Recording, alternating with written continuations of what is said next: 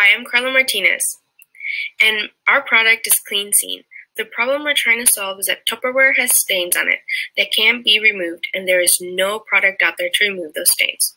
That's why our group is testing out solutions to remove those stains. For example, Annie prepared a bowl of chili for her mother-in-law, and she decides to take her favorite container, but instead of receiving praise for her chili, she was met with ridicule by her mother-in-law. Passive-aggressive words aiming to embarrass her for her stained Tupperware. Annie goes home that day in anger and is determined to clean all her plates and Tupperware is so she can't be ridiculed again.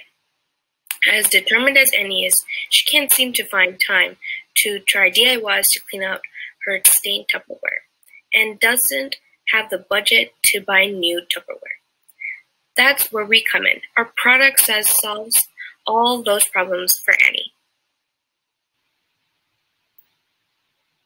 Hi, my name is Sonia Godinez, and for now we're still testing the best solutions to clean out those stains, but our product should be a mix of the best looking solution to clean the Tupperware.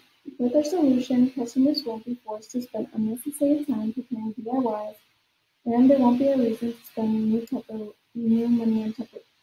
Can I go again? Feel free to start again, that's fine. If you do video, we can edit that out. Okay.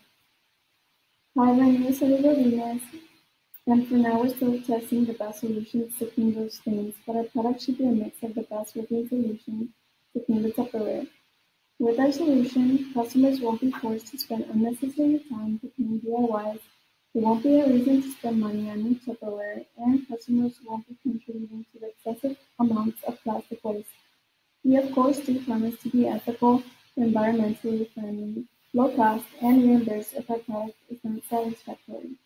Our group is different from companies that use glass to prevent stains since we are aware that not everyone has the money to spend on these expensive containers, and we aim to make for you.